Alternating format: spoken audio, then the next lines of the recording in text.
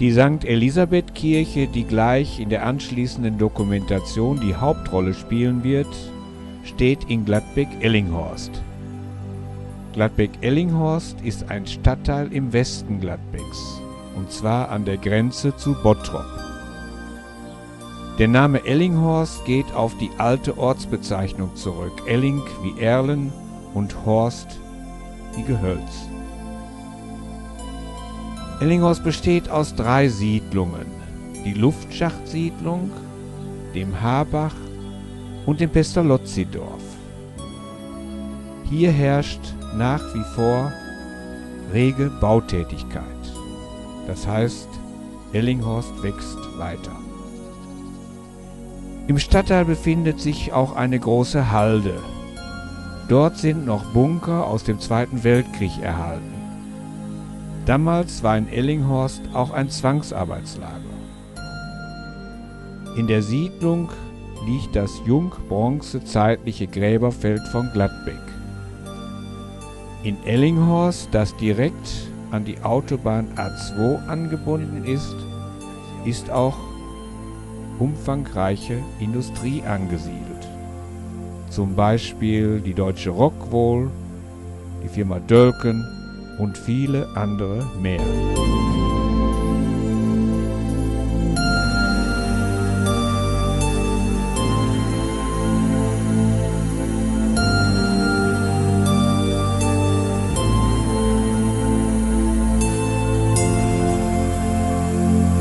Bevor wir nun gleich die Bottropper Straße überqueren werden, um ins Pestalozzi-Dorf zu gelangen, hier ein Blick auf die vor uns liegende St.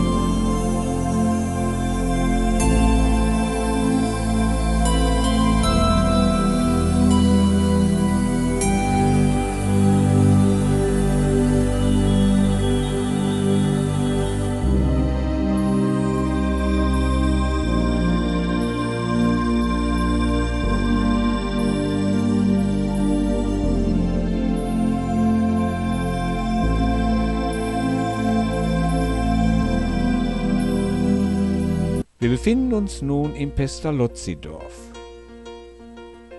In den 50er Jahren des 20. Jahrhunderts erbauten die Bergwerksgesellschaften im Ruhrgebiet etwa 23 Pestalozzi-Dörfer zur familiären Betreuung des Bergarbeiternachwuchses.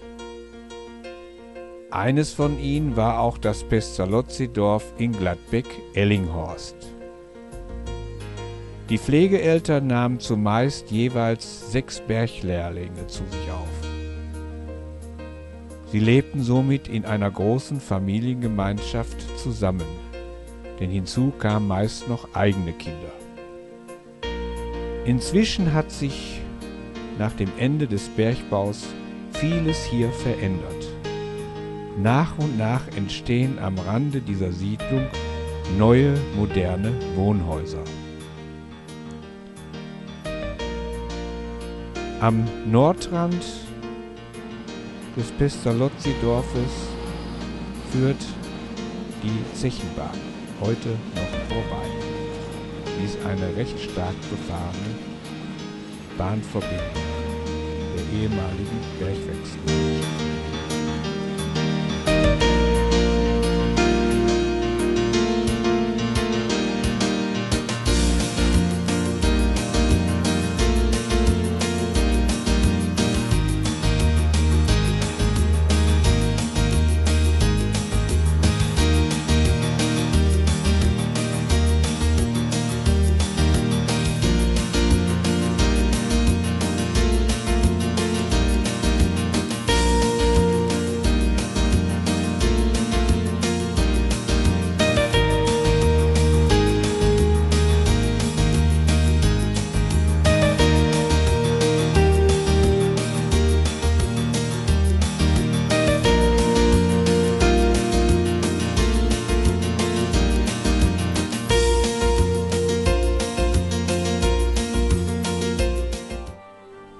Am 20. November 2010 hieß es Abschied nehmen.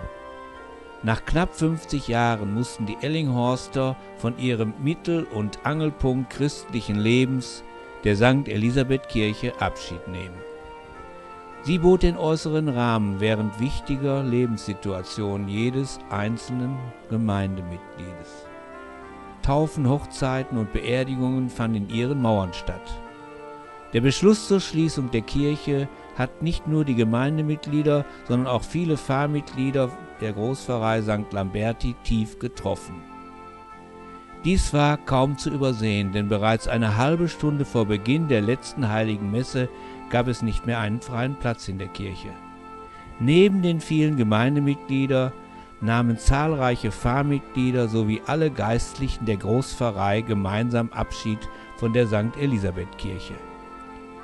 Propst André Müller in seinem Gebet Dies ist ein Abschied von einem Haus, kein Abschied von dir. Deshalb tröste uns jetzt. Pastor Dr. Helmut Bürklin, der letzte Seelsorger an der Filialkirche St. Elisabeth, hält die Predigt. Sagt Dank für die freundliche Aufnahme, für Menschen, die unermüdlich und unentgeltlich das Gemeindeleben aufrechterhalten haben.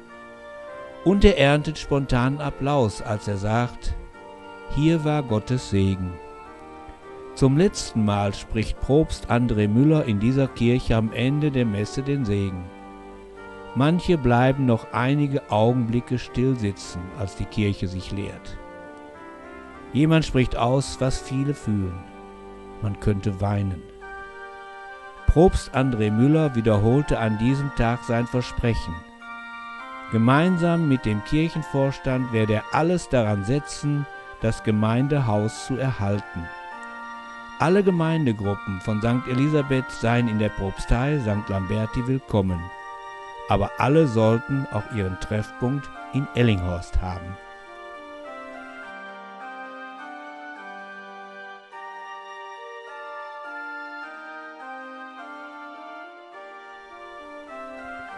Die Kirche St. Elisabeth.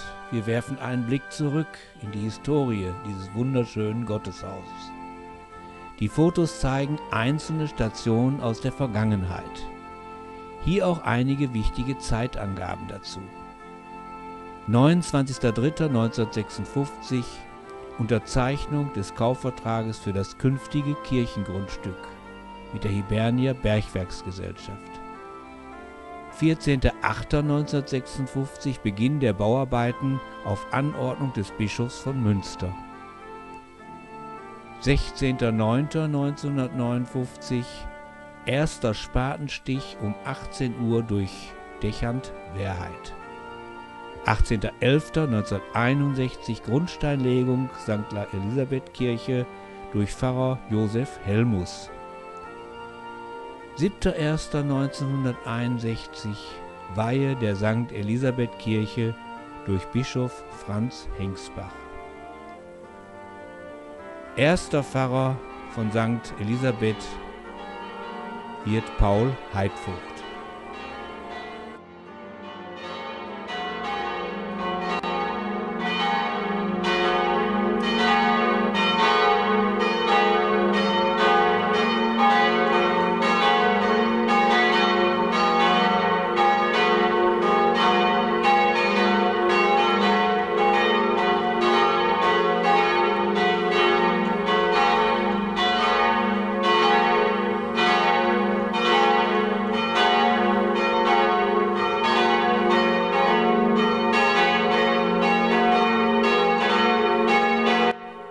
Heute am ersten Advent des Jahres 2009 besuchen wir die Heilige Messe in der Gemeinde St. Elisabeth in Gladbeck-Ellinghorst. Im Jahre 1961 wurde diese Gemeinde gegründet und bedingt durch die Neustrukturierung im Bistum Essen gibt es in Gladbeck seit dem 1. September 2007 nur noch eine Großpfarrei St. Lamberti. Und diese besteht aus sechs Gemeinden. Heiligkreuz in Butendorf, Herz Jesu Zwecke, St. Johannes in Gladbeck Ost, St. Joseph in Alt-Rentfort mit der Filialkirche St. Franziskus in Rentfort Nord, St. Lamberti in Gladbeck Mitte und St. Marien in Brauk. Für die sogenannten weiteren Kirchen, also St. Elisabeth in Ellinghorst und Christus König in Schuldendorf, die künftig nicht mehr aus Kirchensteuermitteln finanziert werden, liegt noch kein endgültiges Verwendungskonzept vor